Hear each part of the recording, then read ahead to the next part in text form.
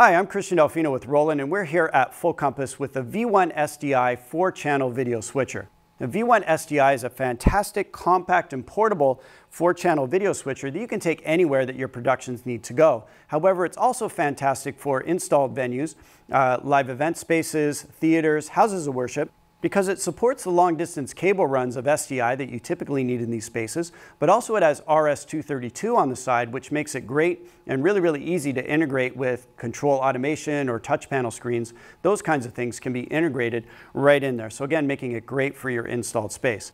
Let's take a quick look at the back of the unit so you can see what kind of inputs and outputs we can do with the V1 SDI. So we'll start with inputs 1 and 2. These support SDI right up to 1080p. So the V1 SDI supports 3G SDI as well as 1080i and 720p. One of the great things about the V1 SDI is that it has a built-in deinterlacer so you don't have to worry about whether you have 1080i or 1080p signals. You can stick both of those in any one of those inputs and the V1 SDI will figure it out for you. So again, uh, inputs 1 and 2 dedicated to SDI. Uh, input 3 gives you a nice uh, versatility. So you can either use SDI or you can use HDMI. So uh, that ability is there. And then the fourth input is HDMI dedicated with a scaler. And this is fantastic because you can put in a standard definition source like an old DVD player, have that upscaled right up to full 1080p, or you can add a 720p source, uh, what have you. Makes it just that much more versatile. So you can imagine all the different configurations you can do with the V1 SDI, three cameras and one computer, or two computers over HDMI and two cameras, uh, or two HDMI cameras and two SDI cameras. Gives you tons of flexibility in terms of inputs into the system. If we look at the outputs, we have two SDI outputs, a program and then a preview that can either be a full frame preview, it can be a second program output. So if you want to send one output to a, a display screen and a second output to a recorder, you can certainly do that. Uh, but it can also be a multi-viewer or it can be a full frame preview. And then next to that, you'll see that there's an HDMI port. And that HDMI port will support the uh, multi-view feature as well as full frame program. So if you're doing HDCP with the two HDMIs, HDCP will pass out of the HDMI uh, that's there. But HDMI, again, giving you a little bit more flexibility and really allowing you to use lower cost monitors when you're doing your multi-view uh, outputs. You can, you can buy a very inexpensive one and use HDMI instead of an expensive SDI one for your preview monitor which is great. You'll also notice we have audio uh, inputs on here. So we have two RCA inputs that will take uh, audio, say from an external mixing board, if that's where you're doing your audio mixing. Uh, as well, we also mix all of the audio from the SDI and the HDMI inputs. And when you add in the microphone input that's on the side, we actually have a full 14 channel audio mixer built right into the unit with full EQ, dynamics on the microphone, etc. So really great versatility. That final audio mix is embedded in your video output, but it's also output from the RCA so you can send it out to a PA system or something like that. So again, powerful video mixer, powerful audio mixer, all built into one unit. So let's take a look at our setup that we have here today. We do have the V1 SDI. You can see compact, really no computer needed to operate it. Everything can be done right here from the top panel.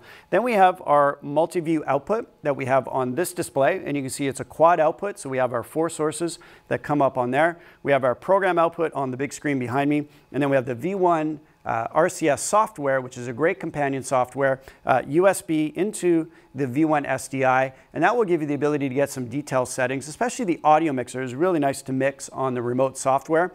Uh, you could have a second person even do that. And uh, it's not needed to operate the V1 SDI, but it's a really nice companion to be able to have there. If we take a look at how to operate the V1 SDI, it couldn't be any simpler. From a pro to a novice, everybody's gonna get how to operate this one. So uh, right across here, we have our program bus. Uh, so what is going out to the main program screen will be there. And whatever is lit up red is what is currently going to the program. And that's also on my multi-viewer on the side. You'll see a red box around what is uh, my current program source.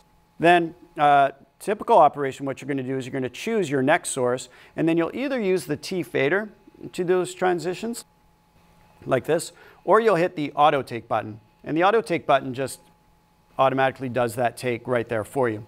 Now we also have some built-in effects that are in here, including picture-in-picture. So if I engage the picture-in-picture and then bring this down, here you can see that I've brought the picture-in-picture -picture up there on the screen and I can move it around just using these control buttons right here. So picture-in-picture -picture functionality in there as well. And then also a split feature, which is really nice because it takes um, the image and splits it into, into two. So you get two sources, which is great for two talking head interview style uh, productions that you can do. And you can see that right now we're taking everything and squishing it into the frame, but we can also leave that full frame and just center in on the two subjects that are there. So there's that versatility built in the split. Then the next feature to show you is the downstream keyer. And this is great for titling or doing green screen or those types of effects. I'll show you an example where we use it for titling. And all I have to do uh, is engage this downstream key button here.